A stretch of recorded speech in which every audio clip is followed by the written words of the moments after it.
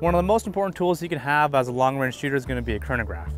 The chronograph is going to allow you to figure out what your bullet speed is, and this information coupled with the ballistic coefficient, you can find out what your trajectory is going to be downrange. Now, I've used chronographs quite a bit in the past, and I was kind of tired of their operation and also the restrictions on where you can use them. Some shooting ranges will only allow you to use a chronograph if you've been certified. And I don't know why that is, but that's kind of the way the cookie crumbles. Um, with older kind of chronographs, you had to set it up about 10 yards downrange so that the muzzle blast will not affect the readings.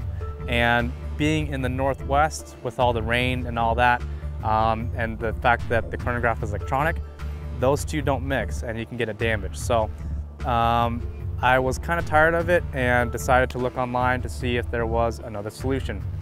So I found this company called MagnetoSPEED and uh, called them up and they were like, hey, we'll send you a version one. So they sent me it over and so far I'm liking it a lot.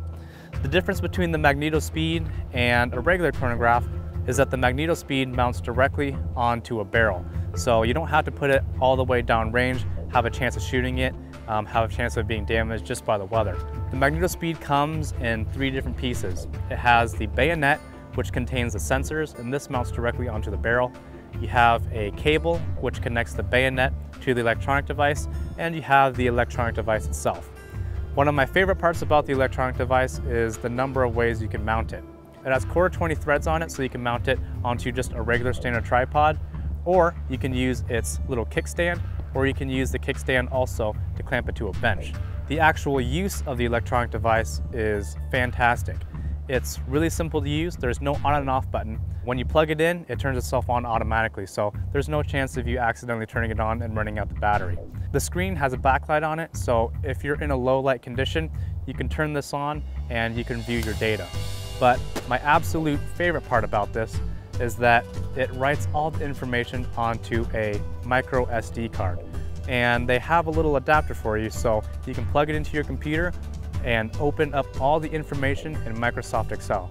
So if you have a lot of data for, say you're making a brand new load for a brand new rifle, this is a good way to keep all your data in check. Or if you have, say, a temperature sensitive powder, you can log different velocities at different temperatures keep it all in one organized place. So it's definitely my favorite chronograph so far. It solves all the problems that I had with the older style chronographs.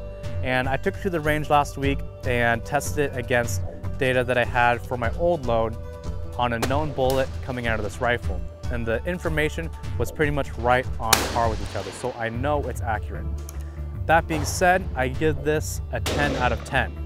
Now, some people might rate it a little bit lower for a couple different reasons.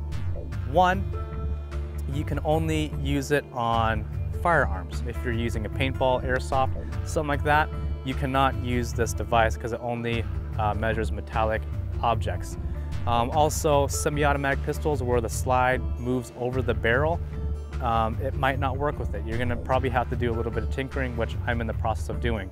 But I shoot 99% rifle anyway, and this has so far worked really well with my AR, with my bolt action rifle. Um, I hear you can use it with a shotgun, which is not advisable if you have the old style chronograph. So overall, I would say this is a 100% perfect buy. It solves all the problems that I need to. It's accurate, easy to use, and I can use it anywhere and anytime I want to. So overall, definitely 10 out of 10. Let me know what you guys think in the comments. If you have any questions, please ask them. And as always, take care out there.